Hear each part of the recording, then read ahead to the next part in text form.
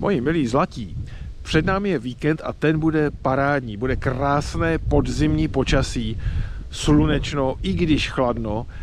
No ale tohleto počasí nevydrží úplně moc dlouho, protože už v pondělí k nám přijde od severozápadu studená fronta a za ní k nám prostě bude proudit studený a vlhký vzduch od severozápadu a takhle by to mělo trvat v podstatě po celý ten další týden.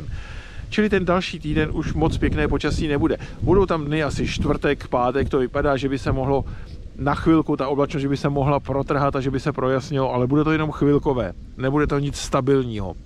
Jinak bude pořád velká oblačnost, silný a studený vítr.